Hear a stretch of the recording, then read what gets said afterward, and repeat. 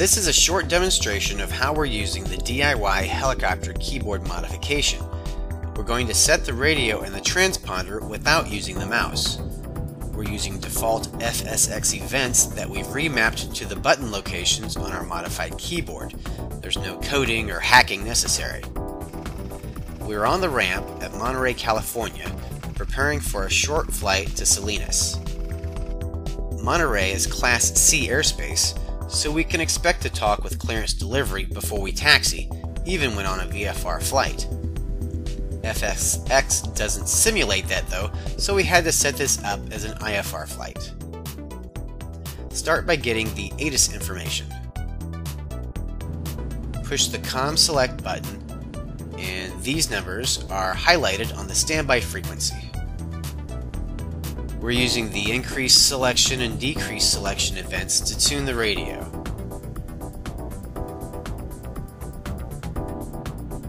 Push the COM select button twice to tune the numbers to the right of the decimal point.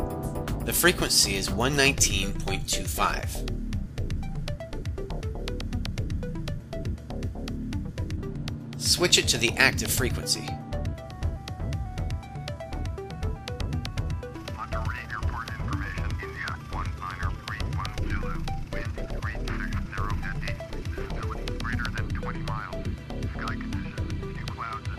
Tune in clearance delivery on 135.45.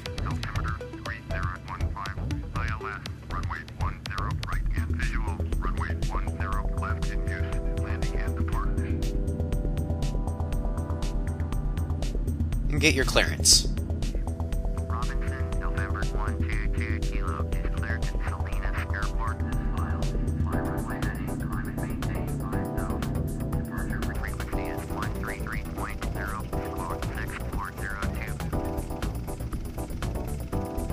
Unfortunately, when you're prompted to accept the clearance, FSX automatically dials in your transponder code.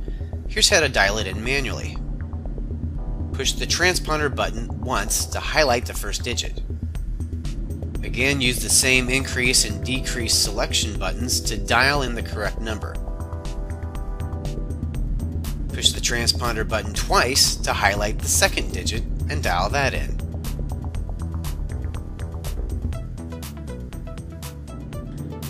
If you press the transponder button three times, you can change the third digit. Press it four times to change the fourth digit.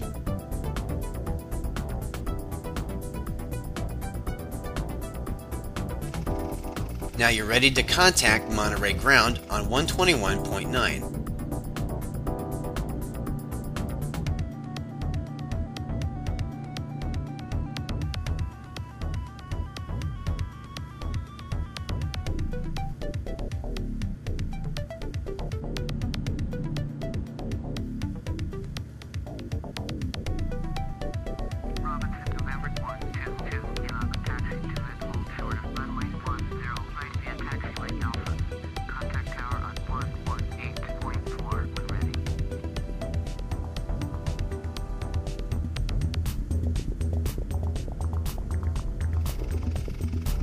When you're ready for takeoff, dial in the Monterey Tower frequency and set it as active.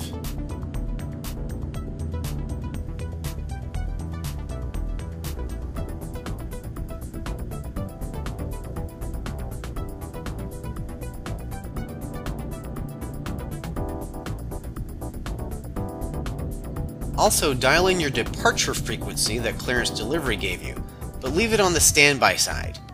Do this to reduce your workload after takeoff.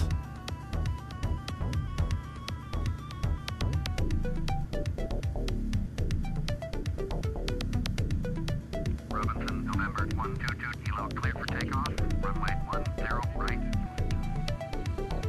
Now get your clearance to take off and go flying. Since you're on a VFR flight, you can cancel your IFR clearance after departing Class C airspace.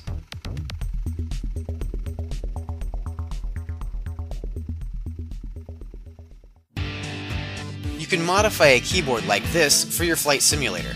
You can also build the DIY Easy Helicopter Collective and desktop frame we're showing here. Our videos and instruction manuals show you how.